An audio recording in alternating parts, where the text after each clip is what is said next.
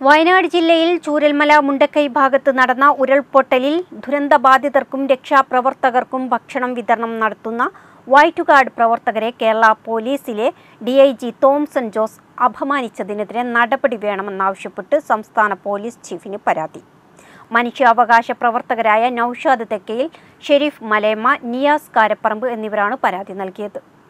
വയനാട് ജില്ലയിൽ ചൂരൽമല മുണ്ടക്കൈ ഭാഗത്ത് നടന്ന ഉരുൾപൊട്ടലിൽ ദുരന്തബാധിതർക്കും രക്ഷാപ്രവർത്തകർക്കും ഭക്ഷണം വിതരണം നടത്തുന്ന വൈറ്റ് ഗാർഡ് പ്രവർത്തകരെ കേരള പോലീസിലെ D I G Thomson Jose അപമാനിച്ചതിനെതിരെ നടപടി വേണമെന്നാവശ്യപ്പെട്ടു മനുഷ്യാവകാശ പ്രവർത്തകരായ നൌഷാദ് ദക്കയിൽ ഷെരീഫ് മലേമ നിയാസ് കാരപ്പറമ്പ് എന്നിവർ സംസ്ഥാന പോലീസ് ചീഫിന് പരാതി നൽകി.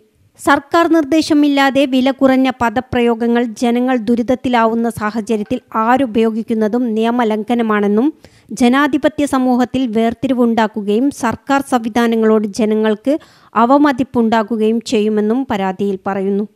സർക്കാരിന്റെ ഉത്തരവ് പ്രകാരമോ ആവശ്യമായ സംവിധാനങ്ങൾ ഒരുക്കിയതിനു ശേഷമോ ഉത്തരവാദിത്ത സ്ഥാനത്തിരിക്കുന്ന ഡി ഐ ജി നിർദ്ദേശം നൽകിയിരുന്നതായിരുന്നെങ്കിൽ ജനങ്ങൾ ആ ദുരന്ത മേഖലയിൽ പ്രതിസന്ധികൾ ഉണ്ടാവില്ലായിരുന്നു എന്നും സംഭവത്തിൽ അടിയന്തര നടപടി സ്വീകരിക്കണമെന്നും ആവശ്യപ്പെട്ടാണ് ഇവർ പരാതി നൽകിയത്. News bureau Mukkam.